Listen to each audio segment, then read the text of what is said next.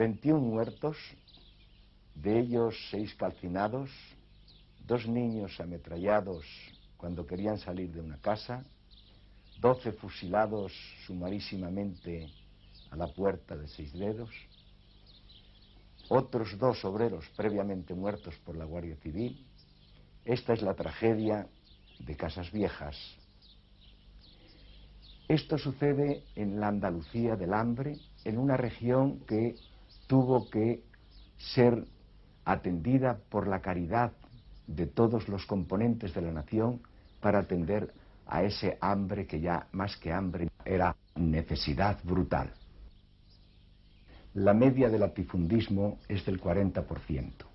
Esta situación latifundista crea unos señores agrarios que impiden la revolución industrial para disponer constantemente de una mano de obra de forma permanente y en situación de tener que aceptar las condiciones que impongan los señores. Es la época en la que los capataces van a las plazas públicas y tocan los bíceps o los músculos de los campesinos para saber quién está en condiciones de trabajar cada vez mejor.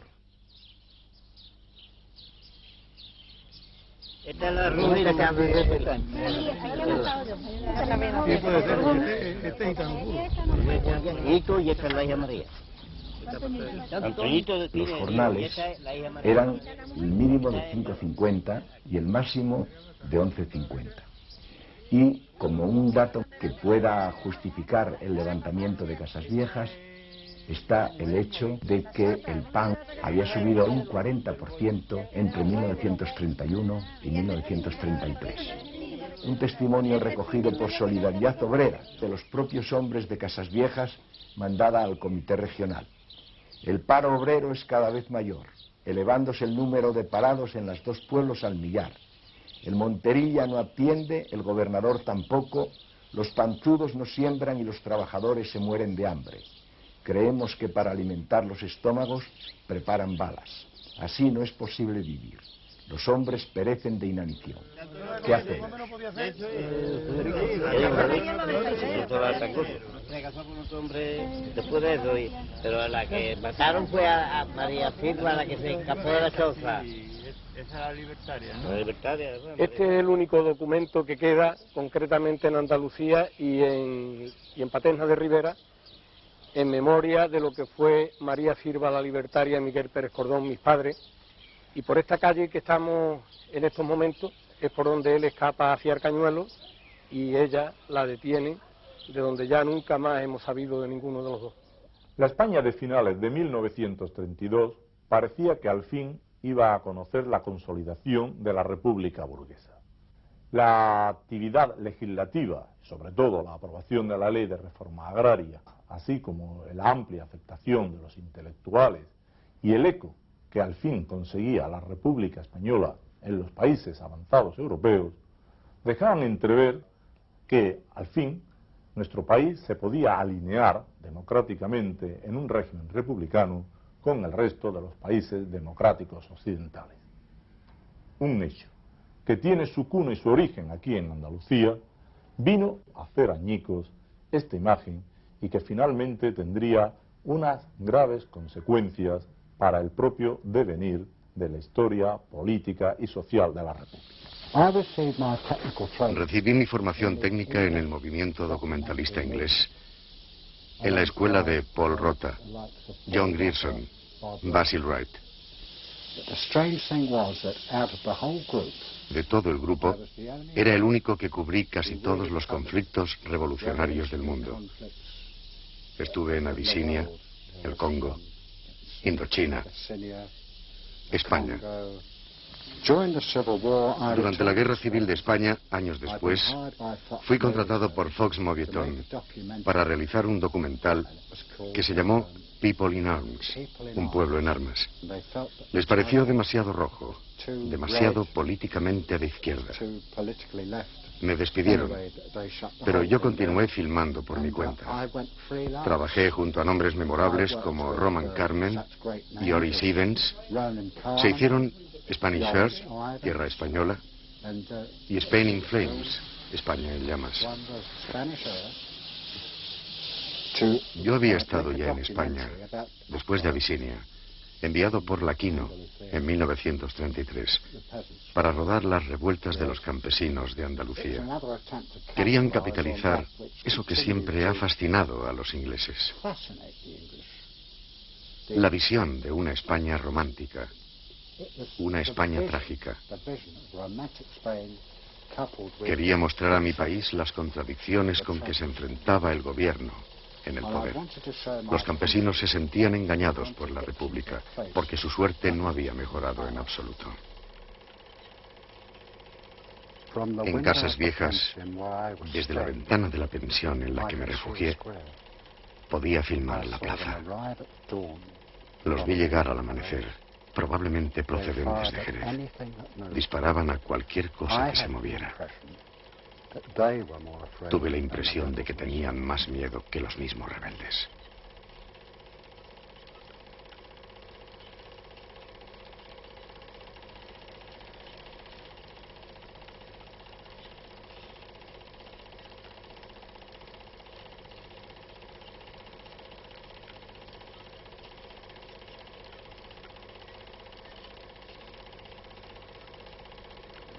Ayer en calle ahí, el cuartel de estaba ahí. Y allí había un guardia y ahí le pegaron un tiro y lo mataron, porque ese, aquí lo mataron en la calle a, a nadie, nada más que a ese. Los demás fueron sacados de sus casas. Por la noche, cuando mi novio se fue, pues nos acostamos y por la madrugada empezaron a cantar y a decir viva el comunismo, viva el comunismo, y mi hermana y yo estábamos acostados y mi hermana llorando muchísimo. Y por la mañana, cuando la levanté, lo primero que hice es asomarme a, a la puerta de la calle y al primero que vi fue a mi novia con una corbata colorada puesta y, y una, una escopeta en la mano y le digo, chiquillo, quítate eso que yo no te veo. Aquella noche sabía que iba, iba a pasar. Allí en el sindicato que hay aquí arriba, ¿de ahí? Allí me unos pocos, como llevo muchos días, con ese que mataron de seis dedos. Y había unas cajas de pistolas, unas pocas, y cantando unos ritmos de comunismo. Y... Y estuve todo el día en mi casa, hasta que una vecina mía me llamó por la ventana y Juan Cabeza, cuando sintió el tiroteo, salió para afuera.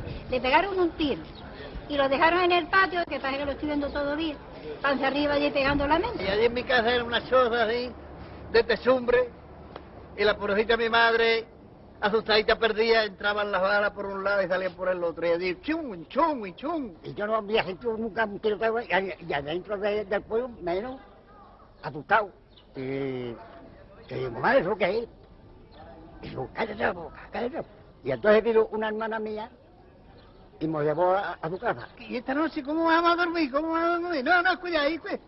Cogió los trastes aquellos de las camas, los extendió allí, eh, quietecito, sin moverse. Allí no se podía poner ni las manos así porque le daban las balas. Mi cuñado, mi hermana, mi sobrino y todos sentaditos en la cama, nada más que asustaditos escuchando los tiros. Y por la ventana tiraron un tiro y a un guardia quedó allí en la- cerca de la puerta. Y ya idearon ellos de rociar la casa de Saideo y meterle fuego. Que ahí llevaron uno que lo, lo posaron, lo llevaron a la casa, a la zorra, y allí lo metieron y allí murió quemado también. Y en el cementerio, allí estaban los muertos todos tendidos para arriba, allí estaba una Mariana Casares, estaba tendida, y estaban yo un pañuelo que llevaba porque estaba con el culo al aire y todo. Y un pañuelo que llevaba se lo puse yo para que no la vieran, todos tendidos allí panza arriba. Y allí estaba ese que mataron ahí cogiendo la leña, allí estaba metido en unas parihuelas, encogido allí, en medio del cementerio, allí esperando ver lo que hacían con él. Apenas eh, proclamada la Segunda República Española, un agudo y al mismo tiempo sinuoso escritor soviético, Ilya Eremurg, eh, publica un libro, su libro de reportajes que se llama España República de Trabajadores. Eh, es un testimonio en realidad del interés eh, por lo que ocurre en unas tierras en las que las convulsiones revolucionarias están a flor de piel. No es extraño que los cineastas soviéticos, fuertemente cautivados eh, por el cine ojo, dentro de aquel movimiento que se llamó Kinox, dirigían su mirada a España.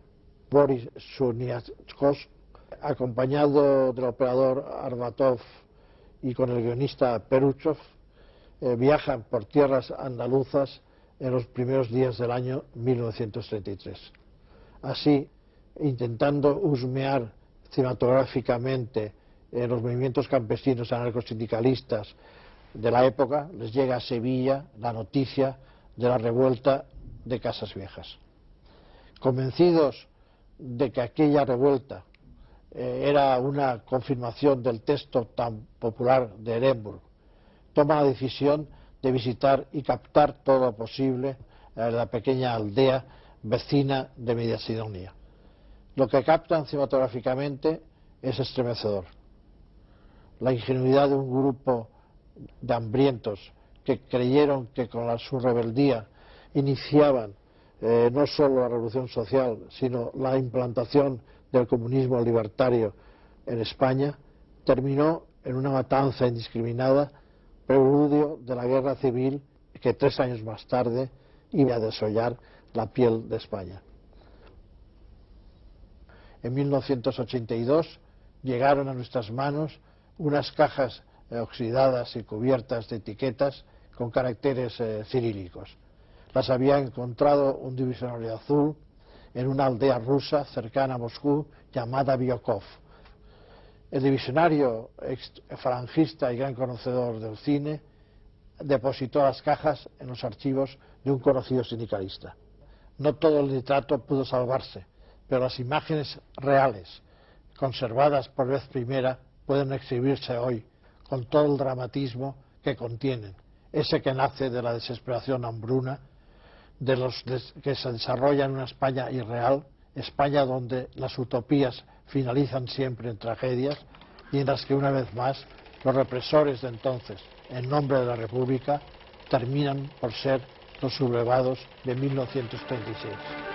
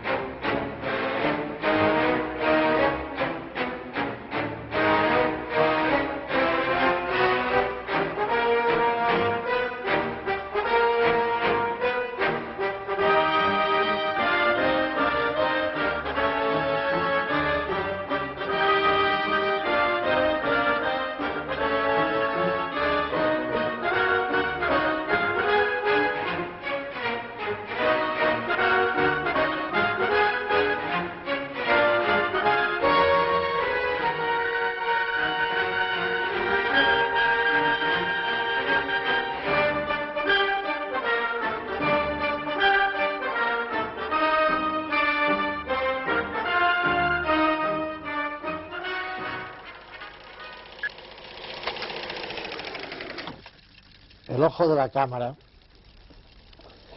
que en un día se llamó eh, Tomavistas y que con esta denominación eh, ha cumplido su misión desde los finales del siglo XIX, ha conseguido captar eh, gran parte de las tragedias eh, mundiales. Este documento cinematográfico fue rechazado en Moscú porque no eran los planes utópicos anarcosindicalistas el modelo revolucionario que Stalin deseaba imponer y mostrar como ejemplo en el mundo capitalista.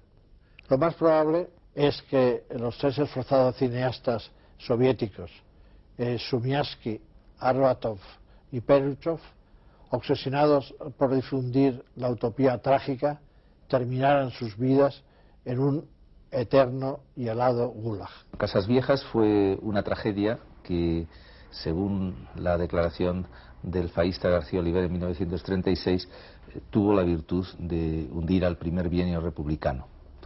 Eh, la afirmación tal vez es un poco exagerada, pero recoge muy bien la importancia del momento para el desprestigio de las instituciones y sobre todo del gobierno republicano socialista presidido por Manuel Azaña. Por una parte, enlaza con una larga tradición de malestar campesino, de represión y de miseria del campo andaluz, que tuvo como consecuencias una serie de revueltas, de violencia, que ya en el siglo XIX habían dado lugar a procesos míticos como el de la mano negra.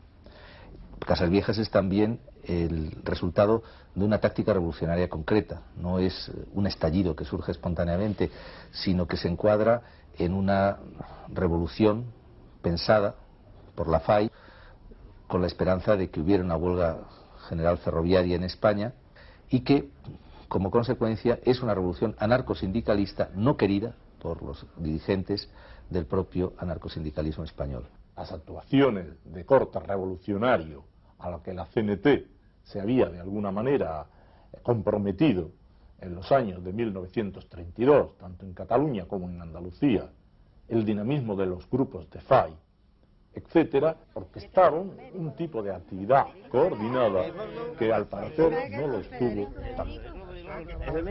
En Andalucía. Se desarrolla una forma de anarquismo que se distingue del anarquismo catalán y sobre todo del anarquismo valenciano en el sentido de exigir una mayor radicalización frente a los hechos, puesto que las necesidades eran también mucho más brutales y mucho más trágicas. La CNT consiente que la Segunda República sustituya a la monarquía, con la condición de que pueda servir al mejoramiento de la clase trabajadora. Esto quizá se ha pasado por alto por los historiadores, pero la, CNT entiende que si la República no sirve para mejorar los intereses de la clase trabajadora, la República no merece ser mantenida y alimentada. Esto explica lo que se llama el periodo insurreccional de la CNT, que va desde enero de 1932 con el levantamiento del Alto Llobregat hasta eh, el levantamiento de Aragón Rioja de 1933. En realidad, Casas Viejas es un grito. Se puede entender como ese grito milenario de los campesinos sin tierras que desde hacía ciento y pico de años jornaleros, campesinos venían luchando por una tierra que se le había usurpado. Pero la verdad es que aquellas viejas gestas de revueltas campesinas de finales del siglo XVIII y XIX quedaban un poco lejos. Casas Viejas sin la matanza hubiera sido pues, nada más que un episodio triste del fracaso del vacunismo en España. Es decir, hubiera sido pues un ejemplo de que no funcionaba ese tipo de revolución en el cual se confiaba en la espontaneidad del pueblo, se confiaba en que una vez que se proclamara en un lugar el comunismo libertario, pues eh, el resto de los trabajadores eh, de España y sobre todo los campesinos de España iban a secundar esta proclamación en una especie de gigantesca mancha de aceite revolucionaria.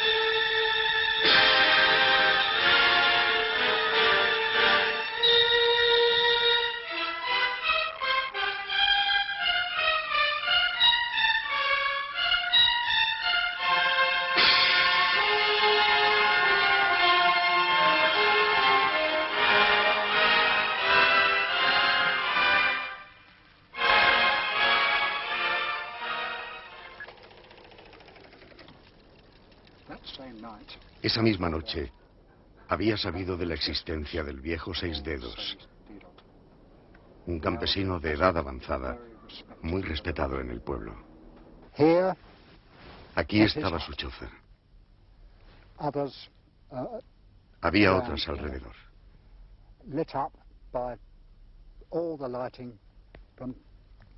Iluminadas por las luces de la Guardia Civil desde ahí enfrente. Y empezaron a disparar. Bang, bang, bang. Y sobrevivieron no sé cómo. En mi opinión, era un hombre muy valiente y también bastante loco, porque se trajo a su mujer y a sus hijos a la choza, desde la que desafió a toda una compañía de la Guardia Civil. Los desafió durante mucho tiempo. No me explicaba cómo lograban sobrevivir. Y además, en esta demostración de fuerza, la Guardia Civil utilizaba ametralladoras y lanzaba granadas. Actuaban como si se tratara de combatir a un gran ejército, a un enemigo con un enorme ejército. Fue, fue terrible. Terrible. Entre la oscuridad, intenté protegerme por aquí medio escondido. No podía acercarme más. Fue una noche especialmente fría, que parecía no terminar nunca. Una verdadera pesadilla.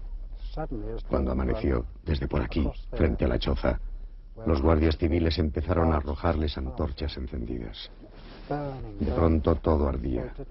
A nadie le importaba que allí dentro estuvieran aquellas gentes desesperadas el viejo, la mujer, el marido y los hijos.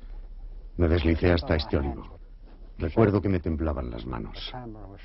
La cámara temblaba también, pero yo quería rodarlo para que hubiera un testimonio.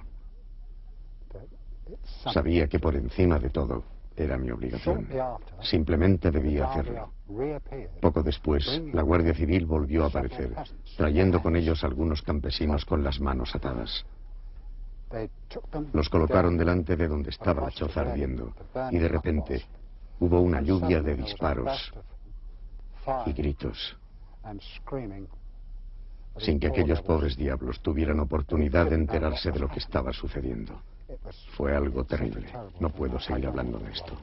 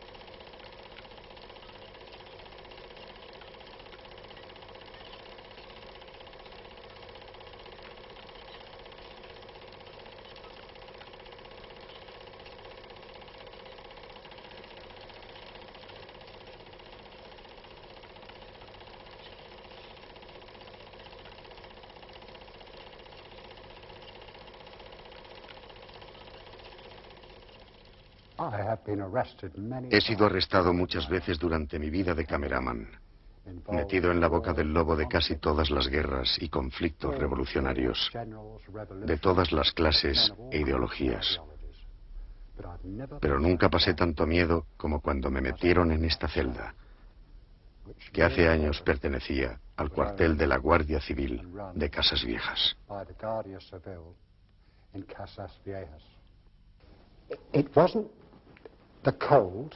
No era el frío, no era el hambre, o el hecho de tenerme encerrado entre aquellos pobres campesinos que no podían entender una palabra de lo que yo dijera. Era el terror a lo desconocido, los pasos inquietantes del exterior, las puertas que se abrían y cerraban. Mi única esperanza en aquel momento era la de que me llevaran ante un juez de Jerez. Por suerte, llegó una comisión parlamentaria de investigación que al reconocerme me presentaron sus excusas y que incluso me invitaron a que rodara las declaraciones que iban a tomar los testigos de los acontecimientos espantosos recién sucedidos entre sus calles. Me quedaba un rollo de película cargado en la cámara antes de ser detenido. Lo rodado anteriormente me había dado tiempo a esconderlo cerca de la choza de seis dedos. Cuando me descubrieron los guardias no supieron abrir la cámara, con lo que tuve mucha suerte. Y más tarde pude utilizar la película cargada para rodar las declaraciones de los testigos.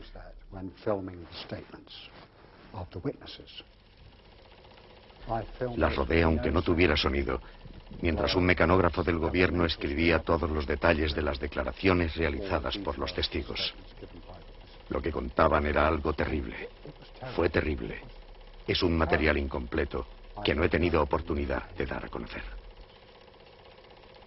Juan Bascuñana, alcalde de Casas Viejas, zapatero, dice que en la mañana del día 11 un grupo de obreros fue a comunicarle que se había declarado el comunismo libertario en España y que ellos no querían hacerle daño a nadie, pero que les dijese a los guardias civiles que se rindieran, porque en España éramos ya todos iguales y no mandaba nadie. Procuró hablar con Medina sin poder hacerlo porque la línea estaba cortada el sargento le dijo que moriría defendiendo a la República proclamada, y que este mismo sargento murió de una descarga de escopeta al asomarse a la ventana. De seis dedos dice que era un hombre trabajador, que no tenía ideas políticas, pendiente siempre de los suyos, que todos los que murieron eran muy buenas personas. Andrés Vera, el cura del pueblo, declara que la culpa de los sucesos era del hambre, que ya no se podía aguantar, que solo hay cuatro propietarios del pueblo y algunos de fuera, le daba pena ver parados en la plaza a los trabajadores desde agosto. Dice que antes de entrar los de asalto, la Guardia Civil entró disparando al aire y la gente se fue a sus casas, habiendo completa tranquilidad hasta que a las cuatro o las cinco entró un camión de guardias de asalto que venían de Jerez y tomaron el pueblo sin que les hubieran hecho frente. Sobre seis dedos opina que era excelente como su familia y jamás se habían metido con nadie. Francisco Cantero, afiliado al Partido Socialista en cuyos locales se reunía los domingos, y le decían que había que implantar la reforma agraria repartiendo las tierras para que se acabase el hambre y para que todos fueran iguales. Por eso le pegó y maltrató el guardia García. Se escondió en casa cuando oyó los tiros. A su hijo Juan lo sacaron los de asalto y enseguida escuchó la descarga en la choza de seis dedos. Dolores Benítez, 48 años. Tengo siete hijos, digo cinco, que dos me los han matado. Se acostaron juntos en la cama de mi madre. Estábamos acostados mi marido y yo en la otra cama. Por las rendijas de la puerta se veían los resplandores del fuego de la choza de seis dedos. Nos preparamos por si iban a arder todas las chozas. Se oía la ametralladora. Se vistieron con miedo a encender la lumbre. A las siete, mi marido fue a recoger una burra que había dejado en el corral para librarla de los tiros. Por eso se salvó de que le mataran también a él. Ya de día entraron varios guardias. Que se levanten y salgan fuera. Se llevaron a Juan de 22 años y a Manuel de 21. Ella quiso seguirles, pero un guardia la increpó. Si no vuelve usted atrás, le soltamos una descarga. Que oyó decir, con estos ya hay bastantes. Oí una descarga y fui corriendo. En la corraliza estaban los dos tirados uno sobre el otro, llenos de heridas. No había ni donde darles un beso. Un reguero de sangre que no había donde poner los pies. Al dolor se le perdió el mundo de vista. A ver quién se atreve a negarme esto. Que no me pongan delante de quienes me los mataron. Sebastiana Reyes, 38 años, cinco hijos. Que su marido Manuel Benítez estaba malo y de poco ánimo, levantado con los suyos en silencio cuando aparecieron tres guardias. ¿Qué hace usted? Ya ve, estar con los míos. Le encontraron una escopeta vieja de cuando había sido guardia de campo que no disparaba. Pero si no ha disparado desde hace diez años. Que un guardia civil intervino a su favor ante el oficial. Tengo órdenes terminantes. Tuvieron que ayudarle a salir y lo sentaron en un pollo de tierra. Los hijos se le colgaban del cuello llorando. Un guardia. No lloréis, nenes, que no le hacemos nada a papá. Manuel andaba con dificultad de estar tres días en la cama y tenían que sostenerle por las axilas. Un guardia civil le dijo al oficial que estaba malo, pero este no dijo más que fuego. Antonio Lara Jiménez, barbero. No manifestó sino que entre el temor de todos los vecinos de Casas Viejas, él se prestó a levantar los cadáveres del montón que lo componían. Requerido por el juez, fui levantándolos. A su lado no había armas. Era un verdadero río de sangre. Separado del grupo estaba el cadáver de Manuel Alago, que aún tenía ardiendo las ropas por el vientre y se ordenó que fueran apagadas. En el interior de la choza que aún ardía se veía un montón de huesos humanos y al final un cráneo ya pelado. Todos tenían volada la bóveda del cráneo como de un disparo de gracia a bocajarro y varias heridas de bala. María Cruz García, 43 años, 11 hijos. Le mataron al único que ayudaba a su padre. Lo sacaron los de asalto de la casa del abuelo con otro joven a las claras del día. Vino a decírselo su cuñada Isabel. Nos lo han matado. Los vi en el corralito de seis dedos tiraditos de espalda, que había ríos de sangre que se comían los perros. Que los mataron de un modo criminal. Que solo le pedí a Dios que haga con ellos lo mismo que han hecho con el hijo de mi alma. Que estaban como parvos tiraditos en el suelo. Que iban dos guardias civiles acompañando a los guardias de asalto para que sacaran a los que ellos decían. Encarnación Ruiz. Mi Manuel estaba enfermo. No estaba asociado con los anarquistas y no había tenido nunca un arma, pero no le sirvió de nada cuando por la mañana vinieron los de asalto apuntándonos con los fusiles. Les enseñé la cama aún calentita como prueba de que no se había metido en nada. Eché tras ellos llorando. Uno sacó la pistola y me la puso en el pecho. Márchate o... Me dieron un palo muy fuerte. Caí al suelo diciéndole que estaba embarazada. Lo arrastraron por los pies hasta la calle. Se hincharon con él a culatazos. Echaba sangre por todas partes. A lo lejos vi cómo lo tiraban al alto y lo dejaban caer contra el suelo. Me lo mataron de una paliza y lo echaron al fuego. No he podido abrazarle. Me lo han matado. Estaba sentadito en una silla. Estaba haciendo una tacita de café porque estaba malo. Se lo llevaron tirando todos los muebles. María Villanueva, que estaba con su niño Juan, aclara que para una madre un hijo es siempre un niño. Que llegaron una multitud de guardias en tropel diciendo, hombres afuera. Que salieron el padre y el hijo con los brazos contra el cielo. Un guardia con el cañón de la escopeta le volcó la cama, que a su niño se lo llevaron al matadero y allí lo dejaron muerto, que con su pena, al verlo, cayó al suelo y allí la recogieron. Tengo el corazón destrozado, no sé si podré vivir. Juanillo era un buenazo, un inocente, casi tonto por demasiado bueno. Todos los del pueblo lo saben. Esta hija mía me cogió a la fuerza para que no le siguiera. Lo mataron como quien mata a un gato.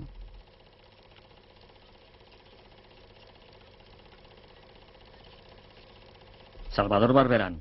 Se llevaron a su hijo y ante sus lamentos le dijeron que no se asustara, que era para tomarle declaración, que no le pasaría nada, que el civil le dijo a los de asalto, no tirar que es honrado, pero que volvieron y se lo llevaron con Manuel Benítez y otro mozuelo, que le empujaron a culatazos en el corralillo.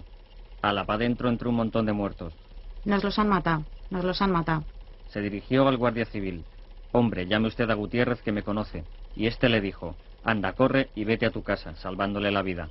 Cuando le vi le salían los sesos por la herida. Al llegar a casa de su padre, anciano de 75 años, lo encontró cocido a balazos en un rincón. El niño Salvador Barberán, que iba a guardar los cochinos cuando cuatro de asalto y un civil le apuntaron y él les dijo, no tirar a mi abuelito, que cogió del suelo una bala y se la dio a un guardia el cual le dijo, tira eso, que no es un merengue. Que viendo que su abuelito no se movía, salió corriendo. Que el abuelo quedó abatido sin más en una charca de sangre. Tenía un boquete en la cabeza y se llenó con su sangre las manos para besarle el cuello. Tres hijos murieron tísicos. El cuarto estaba enfermo. El chico tenía unas calenturas. Entraron a culatazos. Le hicieron levantar y lo arrastraron. Si está malo, pa' cuando esté bueno. Si no ha hecho nada, pa' cuando lo haga. Que viendo que tardaban, fue hacia el corralito del seis dedos, donde había visto que los llevaban, y los vio tiraditos de espalda. He visto correr a un perro con un hueso en la boca.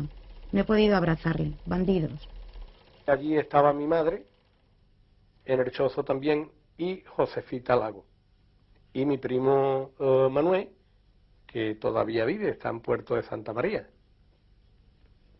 Entonces, ellos dos, mi madre y mi tío Manuel, se salen por una ventanita se respaldan con una burra que debe traer una chumbera, matan a la burra y los dos críos se escapan. Y de ahí, pues empiezan a poner la libertaria y la libertaria por todas partes aparece María Sirva la libertaria. Pero los demás todos mueren allí carbonizados. El que no muere carbonizado luego lo traen y allí a, tiro limpio, ¿no? Abatado de mano y a tiro limpio. Entonces empieza la tragedia de la familia. Dejan Benalú porque aquello era insoportable. Cada uno coge para un lado, unos para Francia, otros para San Fernando y cada uno para una parte. Es la antesala de lo que va a ser el, digamos, el, gran teatro trágico, o sea, nuestra guerra civil, que se va a producir en la nación tres años más tarde. Esta situación eh, da lugar a unos relatos de gran calidad periodística que ponen de manifiesto ante la opinión pública lo que ha sucedido a unas respuestas del gobierno encabezado por Manuel Azaña eh, de gran torpeza. El gobierno inicialmente no sabe lo que ha pasado, ignora las ejecuciones sumarias. Eh, Azaña llega entonces a declarar en el Parlamento que ha, ocurrido lo que tenía que ocurrir. Los republicanos socialistas se niegan a que haya una comisión parlamentaria que luego tendrán que aceptar y propugnar. Y como resultado es eh, que se produce un giro profundo hacia la favorable a la derecha en la situación política española y el gobierno republicano socialista pues se encuentra encerrado en la tremenda contradicción de haber sido responsable siquiera por, por omisión, siquiera por falta de control de las fuerzas de orden público de una matanza totalmente incompatible con el espíritu de la Constitución republicana. La CNT y sobre todo la FAI hizo responsable de lo ocurrido y de la represión posterior a Azaña. A partir de este momento, entre la crítica feroz por colaboracionismo llevado a otros partidos de izquierda, la negativa absoluta y total en participar en cualquier actividad republicana, el mantener el radicalismo revolucionario, que se acentuaría más aún en el año siguiente, del 34, y la explotación verdaderamente inicua que hace la derecha del suceso, vinieron, en último término, a crear unas condiciones que hicieron por completo inviable la posibilidad de una república burguesa en España.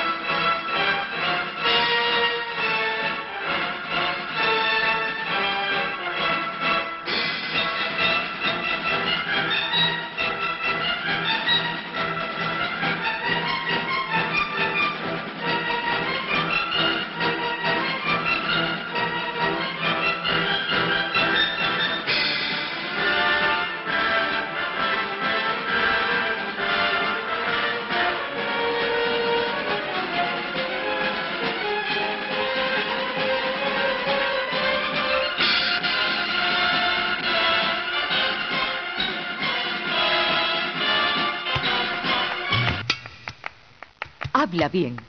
Habla, ándalo.